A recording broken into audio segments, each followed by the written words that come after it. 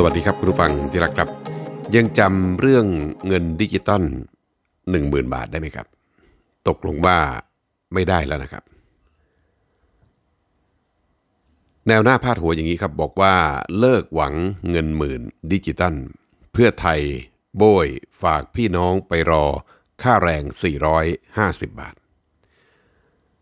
เนื้อหาใจความเนี่ยนะครับนางสาวขัตติยาสวัสดิผล ซึ่งเป็นผู้สมัครสอสอแบบบัญชีรายชื่อของพรรคเพื่อไทยนะครับ ได้มีการทวิตข้อความผ่านทางทวิตเตอร์โดยมีเนื้อหาดังต่อไปนี้ครับ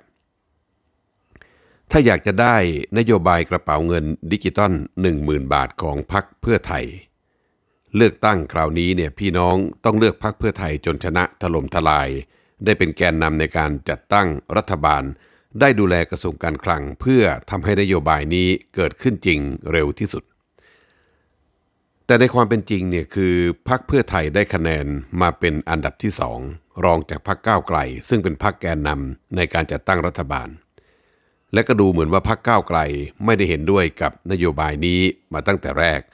ดังนั้นเลิกหวังเงิน 10,000 บาทเด้อ